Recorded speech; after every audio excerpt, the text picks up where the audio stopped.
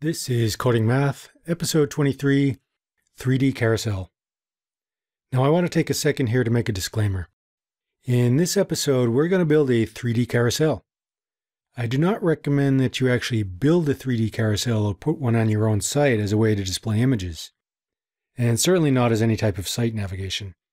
I've always found it to be a horrible type of user interface to be avoided at all costs. Of course, if someone offers to pay you to create a 3D carousel for their site, well, that's an ethical decision you'll have to struggle with on your own.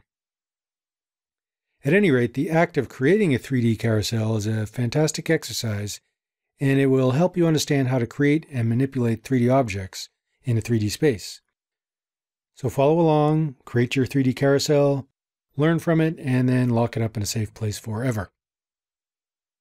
Now, at the end of episode 22, I showed you an example of what we call postcards in space, but I never showed you the code for that, so we'll start there. I also made a note about the fact that some of the postcards were in front of postcards that they should have been behind. I left that in rather than fixing it so that I could spend a little bit of time explaining it in this video. So we'll fix that little glitch this week. Also, user Griffdale pointed out a nice little optimization that could be done to the 3D code. And I'll incorporate that as we go through this. Once we have all that working, we'll hack those postcards so that they form a spinning carousel that reacts to the mouse's movements. So here's that code. We have the focal length, a cards array, and 21 cards. Looping through, we create each card with an X, Y, Z, and an image. The image is created with document create element. It's then given a source URL of the string postcard plus a number plus JPEG.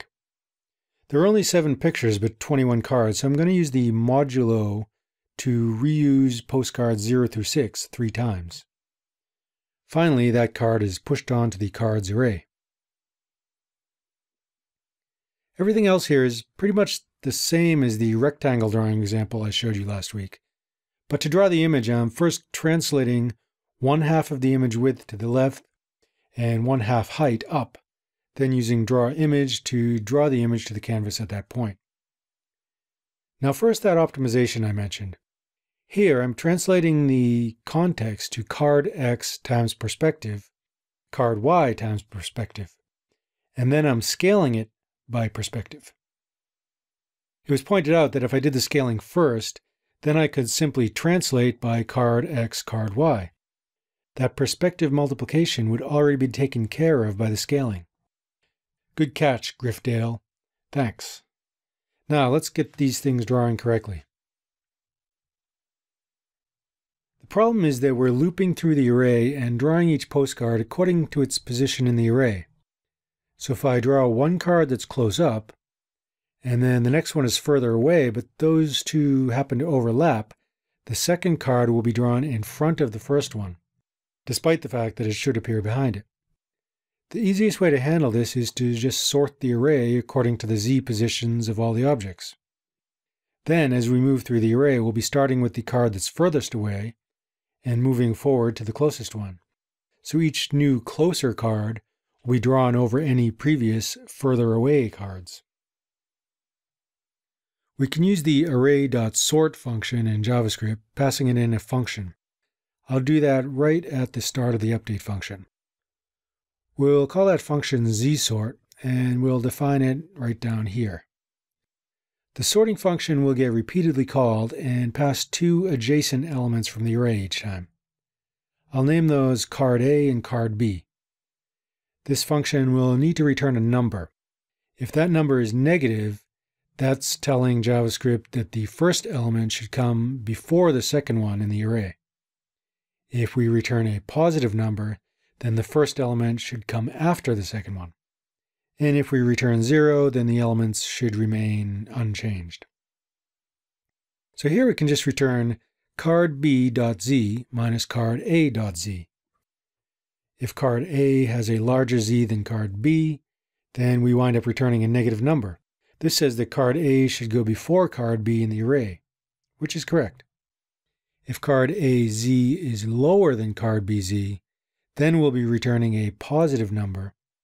and card B will wind up first in the array.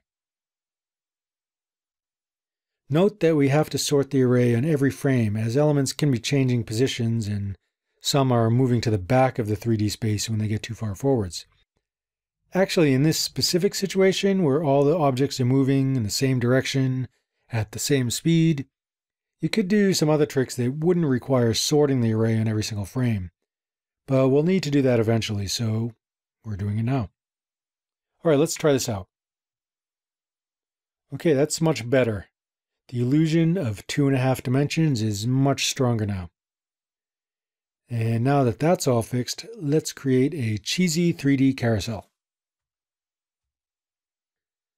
Now, if you recall, way back in episode 4, we covered circles, ellipses, and Lissajous curves.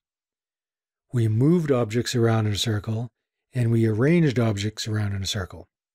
We'll be doing the same thing here, but instead of having that circle on the xy plane, it will be on the xz plane, like this. So we'll have angles for each card, and we'll use the cosine of each angle times our radius to get the x position of that card, and the sine of each angle times the radius to get the z position. But we'll also need to know this distance here. This point here is 0 on the z-axis, but the center of the circle needs to be at some positive z value. For now, we'll make this the same as the radius of the circle. So we'll go back into the code and we'll create a variable called center z and set that at 1000. And we'll create another one called radius, and we'll also set that to 1000. By making these separate variables, you'll be able to play around and see what happens when you change them to different values. I'm also changing num cards to 7 as 21 would be too cramped. In the for loop that creates the cards, I'm going to get rid of the x and z properties, and I'm going to set y to 0. I'll also create an angle property here, and set that to math pi times 2 divided by number of cards times i. This will distribute the cards around the circle. Again, if you don't totally understand what I'm doing here, just refer back to episode 4. Now for the image URL, since we have 7 images and 7 cards, we can lose this modulo operator and just say postcard plus i plus JPEG. Then we can calculate the x and z of each card. x is the cosine of that card's angle times the radius. z is center z plus the sine of that angle times the radius.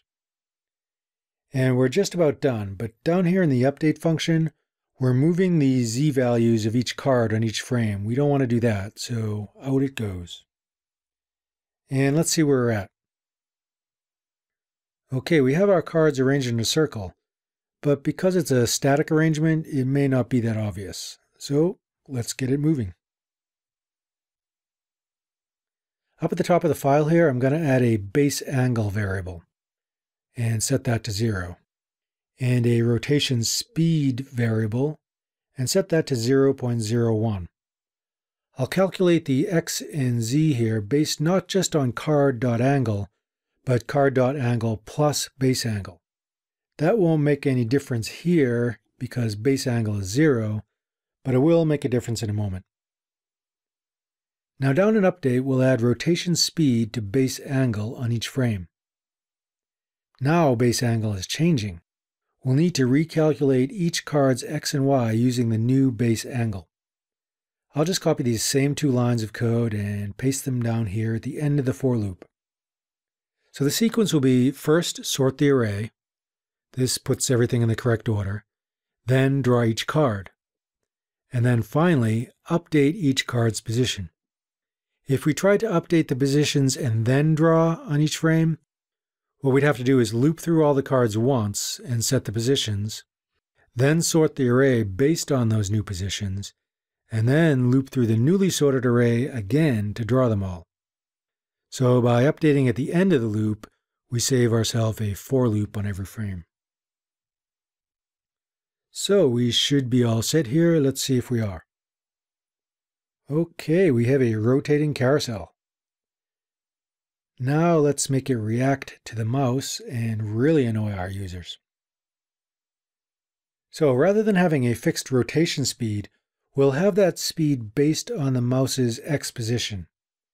I'll add a mouse move handler in here, and I'll set rotation speed to event client X minus width divided by 2 times 0.00005. The subtraction part in the parentheses will give us a negative speed if the mouse is on the left part of the screen, and a positive speed if it's on the right. The farther away from the center of the screen the mouse is, the larger that number will be. But the numbers that gives us will be way too large. The carousel will be spinning faster than a really fast spinny thing. So we'll multiply it by a very small number to bring it back into a manageable range. That particular number is just one I came up with by trial and error. So let's see the tasteless fruit of our labor. Well, here you go. A 3D carousel. Yay. Now try to click on a picture and see why I hate this as a navigation strategy. But for all my joking about how cheesy this is, the technique can be used to create some pretty cool effects. For example, here I have some stars that not only rotate based on the mouse, but change their Y position with the mouse as well. And by varying the Y values of a bunch of objects, you can create a 3D spiral. Oh, and here's the code for that example. Of course, if you need more than that, you can find all the code for these examples in the Coding Math GitHub repo. And here, as a final example, each object has a random radius and a random y value that moves upwards, as well as a diminishing alpha value. When the alpha value reaches zero, the object is respawned at the bottom. And I think you'll agree that this is about as far from a cheesy 3D carousel postcards in space as you can get. But it's really the same technique with just a bit of flair. Now, I'm not sure exactly what you'd use something like this for, but my job is just to show you what's possible. Your job is to do something cool with it. I only ask that you use your newfound powers for good. See you next week.